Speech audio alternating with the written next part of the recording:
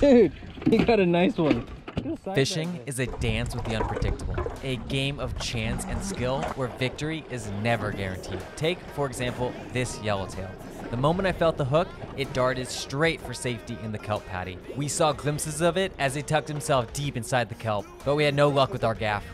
At this point, my lack of patience got the better of me. I tightened down the drag and just yanked. The line snapped and the fish escaped. Oh, But the sea is generous. It gave me another chance. Another yellowtail took the bait. This time I was ready. I fought with all my might, mm. refusing to let history repeat itself. Fishing really is a journey into the unknown. You let your line go into the depths and you never truly know what's awaiting you.